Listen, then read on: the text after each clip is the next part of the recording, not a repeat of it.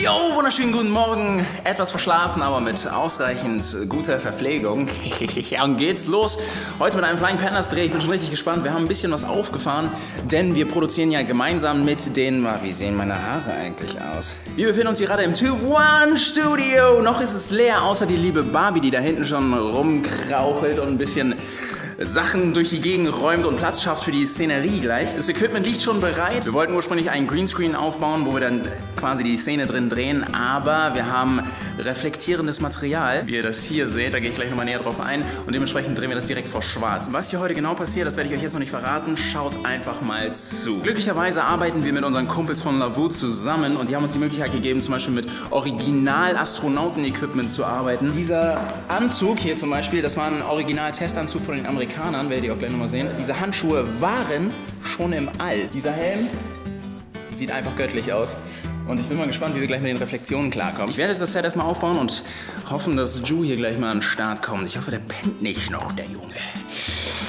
Viele von euch fragen immer, mit was für einem Equipment dreht ihr denn eigentlich? Das würden wir ganz gerne mal im Detail erfahren und ich kann euch ja mal mitnehmen durch einen solchen Flying Pandas Dreh. Wir haben hier erstmal ganz normale Hintergründe in schwarz und weiß. Die waren relativ günstig. Das sind so Stoffhintergründe von Pro dann haben wir hier diese Standard Valimax Stative. Die benutze ich für die LED-Lampen, die ich da gleich draufschrauben werde, werdet ihr sehen. Haben wir drei Stück.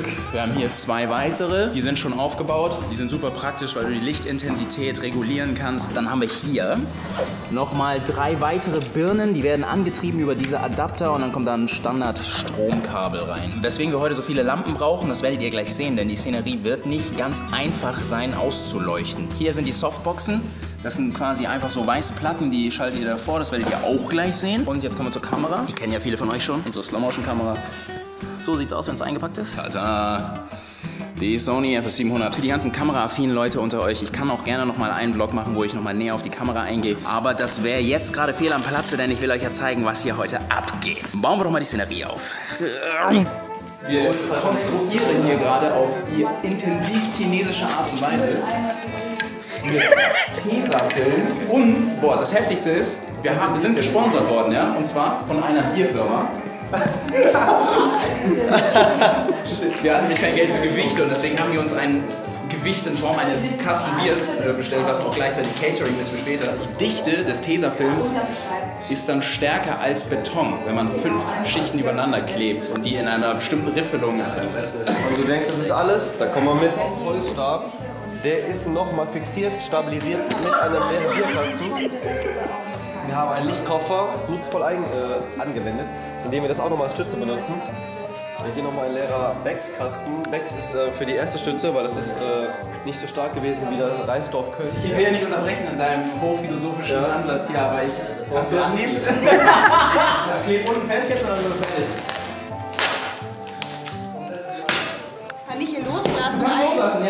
Schere, deswegen brauchen wir einen. So, guck mal, dadurch, dass du es jetzt so abgeschlagen hast und das durch einen leichten Windzug wieder zurückgekommen ist, hat das jetzt eine aerodynamische Klebeform. Genau das. Dadurch können wir das jetzt hier noch kurz lösen. Ja. Und ich würde das einmal hier drauf spucken. Ja. Das einmal hier rumwickeln. Ja, das ist der Sicherheitsschliff. Das ist der Sicherheitsschliff, ja. Und der kommt eigentlich ganz am Ende erst. So. Ja. Klebe ich den hier rein. Ja. Und dann kannst du den hier einfach festmachen, ne? Nee, warte. Aber durchstecken. Man muss ah, ein bisschen, okay, ja. bisschen Kraft anwenden. So, man klebt das so rein wie so ein Kondom, weißt du? Wenn du den rausziehst, fällt alles zusammen. Das machen wir nachher. Was für ein Scheiß, die labern! Jo, Leute, das äh, Set ist fertig gebaut. Die Kamera steht schon bereit. Es und auch. Deckel ab. Und äh, das Set, wie ihr hier im Hintergrund seht, wir haben das hier nur über 180 Grad aufgebaut. Wir haben hier oben die Sonne platziert mit zwei LED-Leuchten und auf der unteren Seite haben wir hier mit, mit so einer Softbox so, mit so einem Softbox-Vorbau haben wir die Monduntergrundsreflexionen nach oben, ihr versteht schon. Und wir haben heute ein paar Gäste. Einer davon ist Ju. Hier unsere, hier unsere Gäste John und äh, Marvi, kennt ihr ja schon. Wunderschönen guten Hi. Die liebe Karina und der David sind hier gerade am Start. Die basteln hier schon ein bisschen was zusammen. Ihr habt ja was richtig krasses vor heute. Ihr wollt einen Alien zusammenbauen, ja? Ja, eine sexy Alienbraut. Eine sexy Alienbraut. Sexy Alienbraut ist jetzt gerade noch äh, Umzieht. sich umziehen, die Kontaktlinsen reinmachen und so weiter. Wir haben Karina getroffen bei einer Produktion, wo ihr auch dabei wart. Und zwar Japan Day, ne? Ich kann euch noch mal kurz die Szene zeigen. Haben wir uns gedacht, äh, schreiben wir die Karina doch mal an, weil sie das da so professionell geschminkt hat. Du machst das schon ein bisschen länger, ne? So wie das aussieht. Zwei Jahre eigentlich erst. Anderthalb Jahre. Ja. Respekt. Ich habe mir ein paar Werke angeschaut und das war so professionell und genau das, was wir eigentlich brauchten. Deswegen haben wir Karina angesprochen, ob sie nicht Lust hat, bei dieser Produktion mitzuwirken. Guckt euch das mal an. Das ist der Hammer. ja, das ist das Outfit für heute und jetzt wirst du noch ein bisschen angepinselt, ne? Genau. Boah, krass, schau mal die Augen. Was? Ist mir gar nicht aufgefallen eben. Oh, ja, warte. Ey, hast du den rausgenommen oder reingeschoben einfach? Einfach reingeschoben. Was geht los?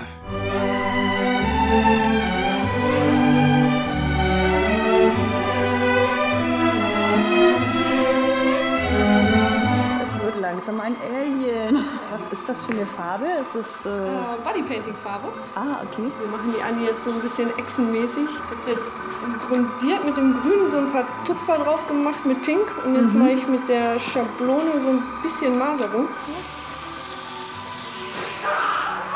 Damit das überall so ein bisschen. Ja. So eine Echsenmaserung kriegt. Dann gehe ich da gleich nochmal ganz leicht mit Grün drüber, damit das nicht zu weiß ist. Die längste war sechs Stunden. Sechs ja Stunden anmalen von Von oben bis stehen. unten. Wie ist es eigentlich für dich, wenn du jetzt wirklich da ein paar Stunden dran pinselst und du eigentlich weißt, dass es für eine relativ kurze Szene ist? Tut es dann weh, wenn es wieder abgewaschen wird? Ich finde es eigentlich ganz schlimm. Man hat ja das Video, man kann es sich ja immer wieder angucken. Das ja genauso, wie man es, wenn man es jetzt für ein Shooting nimmt, dann hat man ja immer die äh, Fotos noch. Von daher finde ich das jetzt nicht so schlimm. Ich kann es immer neu malen. Aber meistens ärgern, ärgern die Leute sich dann, die ich anmale, weil die es dann nicht selber können. Ja. Und für die ist das dann so ein bisschen mehr was Besonderes. Ne? Gibt es irgendwo eine Seite, wo man deine bisherigen Werke begutachten kann? Ja, entweder auf meiner ähm, Website äh, www.push.art.com Okay. oder auf Facebook einfach nach Carina Push suchen. Wir nähern uns langsam dem Ende. Das sind solche Accessoires wahrscheinlich, machst du Also selber, das ne? hier oben ist selbst gebastelt Ja. und äh, die haben wir so gekauft. Mhm. Genau, genau. Aber sonst mache ich eigentlich viele Sachen immer selber. Hier am Japantag, diese riesen Hörner, die habe ich auch selber gemacht aus Draht und Stoff. So Leute, wie sehe ich eigentlich aus? Das ist ja so eine Ultrapalme hier oben. Okay, alles klar. Unser Aushilfsasiate wird jetzt hier mal ganz kurz den Astronauten spielen. Das äh, passt wie angegossen, oder? Was er noch nicht weiß ist, Kannst du bitte Fly Me to the Moon singen, während du angezogen wirst? Was süß, ein kleiner Astronaut. Ready? Ja. Boah, sieht das geil aus. Mega geil. Jetzt riechst du zum ersten Mal deinen eigenen Körpergeruch. okay, liebe Leute, ihr seht, unser Astronaut ist fast fertig. Äh, was jetzt hiermit passieren wird, das werdet ihr sehen auf unserem Flying Pandas Kanal. Das Video wird bald online gehen. Wir werden äh, Morgen. wahrscheinlich nicht. Also seid gespannt. Hier seht ihr jetzt nichts mehr. Tschüss. Hä? Ach krass, eben habe ich noch gesehen. Wird das so abgedunkelt, automatisch? Guck mal. Stimmt. Macht absolut keinen Sinn, aber ja. Ja. Tschüss. Ich fülle ihn jetzt auf, den Anzug. Geil, Alter. Hammer. Du siehst aus wie ein Taucher.